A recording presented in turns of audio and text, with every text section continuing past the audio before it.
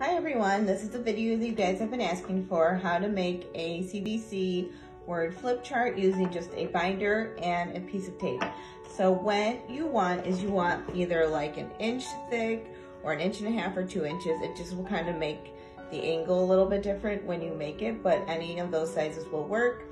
Um, you want a cheap binder. So you want a binder that you can easily fold. The, ch the cheaper the binder, the easier it's gonna be to fold. So what you're gonna wanna do is you're gonna wanna lay it flat. You're gonna wanna bend both of these backwards so it makes the shape of a triangle. And I'm gonna show you. And I already kind of pre-bent it just because it does take a little bit of effort and time to really get it bent.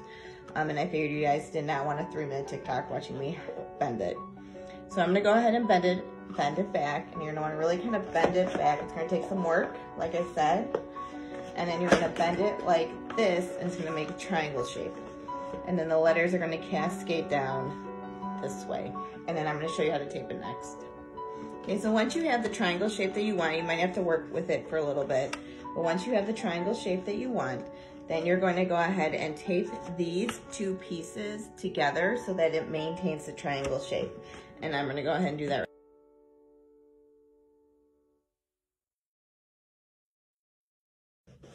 flip chart binder and then you can add the letters on top.